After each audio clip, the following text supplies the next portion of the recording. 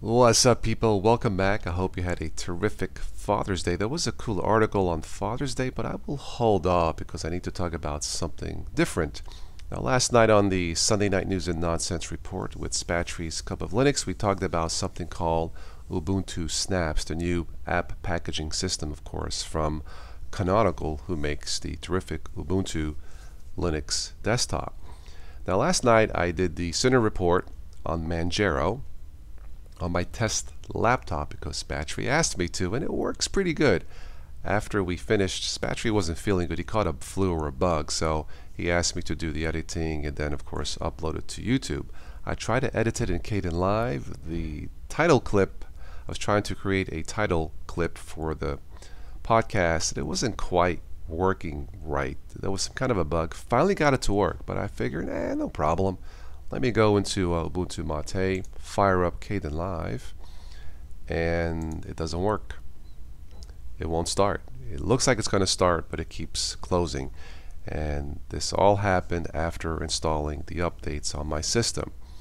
So I went back and someone asked me to take a look at an, at an article, a very good timely article as it seems, about Ubuntu Snaps. Now, I'll have a link for this below in the show notes. I will not read all of this, but briefly, a brief history of Linux's packaging mess. Unlike Mac or Windows, Linux applications share the, share the same libraries across the system, and the main job of a package manager is to find dependencies. Linux distributions are mainly divided into two packaging formats, not all of them, but divided into two packaging formats, RPM and deb. This causes three major problems for app developers and Linux users. Developers can take advantage of the latest libraries and offer more features to their users if users if the distribution is still using older libraries. Number two, developers have to write and maintain apps for different distributions, and mixing libraries leads to broken systems. In a nutshell, the Linux desktop is a mess. Is it? As a whole, or as, as it says here in a nutshell, I would have to agree. It pains me to say that, but I am tired of solving puzzles. I don't know about you guys, but let me continue. Even Linus Torvalds is not a fan of this approach, and you guys know who Linus is if you are using Linux for any length of time.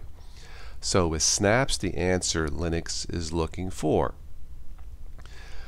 Well, I won't read all of this, but it says here the future according to Snaps. With Snaps, the Linux desktop will become one huge platform similar to Mac OS and Windows. App developers will have to write their app once, and it will run on every Linux distribution. Let me read that again.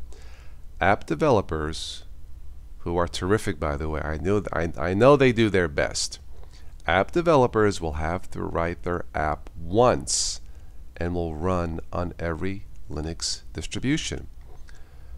Sounds pretty good to me, at least in theory, and that's not all it says. Snaps also brings much needed security to the Linux desktop as snaps are sandboxed and contained and don't have system wide access. Another advantage of snaps is easier and quicker distribution of apps since developers don't have to worry about system libraries.